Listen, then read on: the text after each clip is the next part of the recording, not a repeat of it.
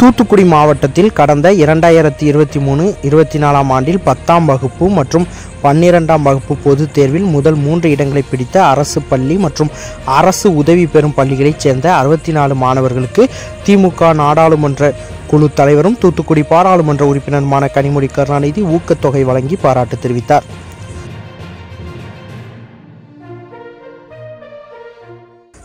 தூத்துக்குடி பாராளுமன்ற உறுப்பினரும் திமுக நாடாளுமன்ற குழு தலைவருமான கனிமொழி கருணாநிதி இன்று தனது தூத்துக்குடி அலுவலகத்தில் வைத்து தூத்துக்குடி மாவட்டத்தில் கடந்த இரண்டாயிரத்தி இருபத்தி மூணு இருபத்தி நாலாம் ஆண்டு நடைபெற்ற பன்னிரெண்டாம் வகுப்பு மற்றும் பத்தாம் வகுப்பு அரசு பொதுத் தேர்வில் முதல் மூன்று இடங்களை பிடித்த அரசு பள்ளி மற்றும் அரசு உதவி பெறும் பள்ளிகளைச் சேர்ந்த அறுபத்தி நாலு மாணவர்களை பாராட்டி ஊக்கத்தொகை வழங்கினார். முதலிடம் பிடித்த மாணவர்களுக்கு ரூபாய் இருபத்தி ஐயாயிரமும் இரண்டாம் இடம் பிடித்த மாணவர்களுக்கு ரூபாய் பதினைந்தாயிரமும் மூன்றாம் இடம் பிடித்த மாணவர்களுக்கு ரூபாய் பத்தாயிரமும் புத்தக பையும் வழங்கி பாராட்டினார். முதல் மூன்று இடங்களை பிடித்த மாணவர்கள் வருங்காலத்தில் நல்ல கல்வி கற்று சிறந்த முறையில் வர வேண்டும் என அவர் கேட்டுக்கொண்டார். இந்த நிகழ்ச்சியில் திரு- தூத்துக்குடி மாநகராட்சி மேயர் ஜெகன் பெரியசாமி கலந்து கொண்டார்.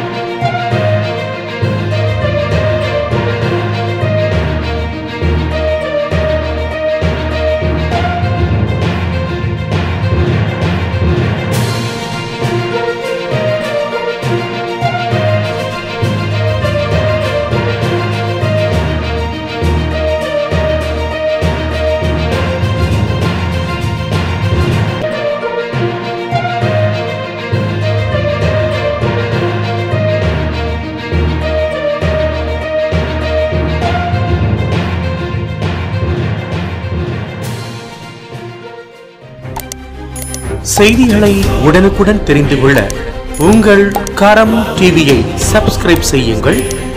அதோடு பெல் பட்டனையும் கிளிக் செய்யுங்கள்.